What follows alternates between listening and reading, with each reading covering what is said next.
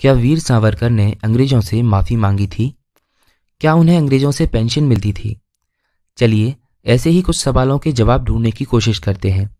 नमस्कार दोस्तों, आप देख रहे हैं गो नारद।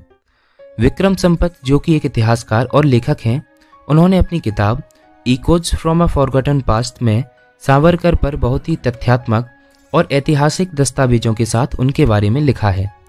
वह लिखते हैं अंग्रेज़ी सत्ता के विरुद्ध भारत की स्वतंत्रता में वीर सावरकर का खास योगदान था। लेकिन वीर सावरकर को लेकर देश के लोग दो वर्गों में विभाजित हैं। एक वर्ग के लिए सावरकर हीरो हैं और दूसरा वर्ग वो है जिनके लिए वह एक विलेन है। उन्होंने सावरकर के जीवन को दो पार्ट में प्रस्तुत किया है, जिसमें उनके जीवन पर प्रकाश डाला गया है। तो क्या सावरकर ने सच में अंग्रेज़ों से माफ़ी मांगी थी?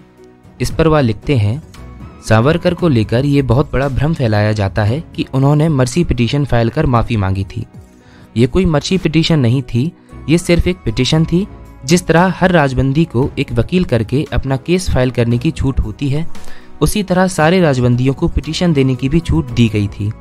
वह एक वकील थे, उन्हें पता था कि जेल से छूटने के लिए कानून का किस तरह से इस्तेमाल कर सकते हैं।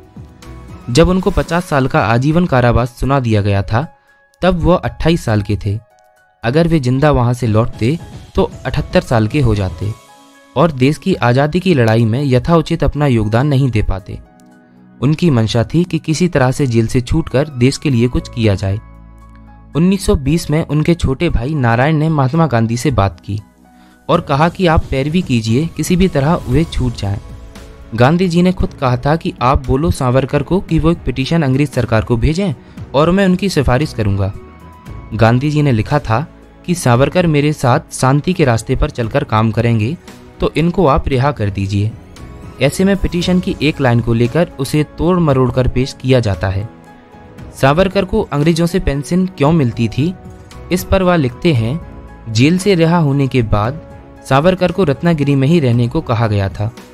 अंग्रेज़ उन पर नज़र रखते थे। उनकी सारी डिग्रियाँ और संपत्ति जब्त कर ली गई थी। ऐसे राजबंदियों को, जिन्हें कंडीशनल रिलीज़ मिलती थी, उन सभी को पेंशन दी जाती थी। उस समय अंग्रेज़ों का ये कहना था कि हम आपको काम करने की छूट नहीं देंगे। आपकी देखभाल हम करेंगे, गुजारे के लिए उन्हें पेंशन दी जाती थी। इस तरह की एक तथ्य यह भी है कि गांधी, नेहरू और सावरकर ने इंग्लैंड से ही बैरिस्टर की डिग्री ली थी। उस समय ब्रिटिश सरकार का एक नियम था। नियम यह था कि वकालत करने के लिए एक शपथ पत्र देना होता था। जिसमें ब्रिटिश सरकार के खिलाफ न जानकर उनके प्रति वफादार रहने का वचन देना होता था। यह वचन पत्र नेहरू और गांधी ने दिया था, वीर सावरकर ने नहीं दिया था। स्वतंत्रता संग्राम सेनानियों में गांधी नेहरू से भी ज़्यादा कठोर सजाएँ वीर सावरकर को दी गई थी। क्षुद्र राजनीति के चलते कुछ लोग उन्हें कम आंकने की ऐतिहासिक गलती करते हैं। वीर सावरकर वीर ही रहेंगे और हमारा मार्गदर्शन करते रहेंगे।